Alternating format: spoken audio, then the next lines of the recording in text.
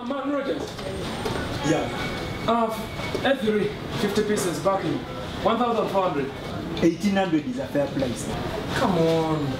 18 is a fair price. Good morning. Morning to you. How, how are you? Good. May I talk to Mr. Francis? Hello. Okay, Mr. Francis, I'm here for a job interview. A job interview? Yes. Yeah. Yes, I'm called Zalwango. Zalwango. So these are the documents? Yes, my application and that's it. All the requirements inside. Okay.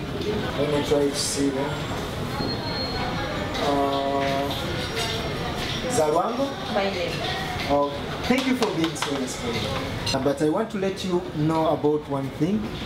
I'm going to call you after some. And why are you calling me when I'm already here? I mean, by now we have advertised something back. So, my Mr. Francis has you called you yourself. But you would have told us that before. It's not my fault. It's not my. It's not my problem. If you had the audacity to go on TV and advertise that you're looking for workers, you had the same audacity to go back and advertise that you're full. You didn't go back to advertise. Now whose problem? Whose mistake? Is it my mistake? Your mistake? I don't want. I don't want to be. Do you think I'm a fool? Do you think I'm here joking? Do you have, Do you think I came here to play with you or what? And Francis, time. Hey, hey, hey, hey. Ah, excuse me. You're excused. I said I'll call you. Go away. And I've said I'm here to work. Hey, you! Stop Sarah. thinking about it. Now, what do you want? What Job. exactly? What exactly? do A you job! No sense.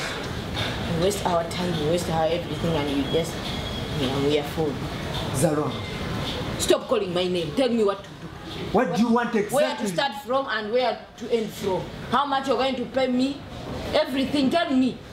Okay, Hey. it's fine. You've got a job. Thank you.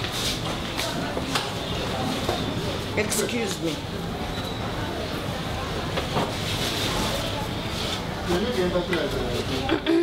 How may I help you?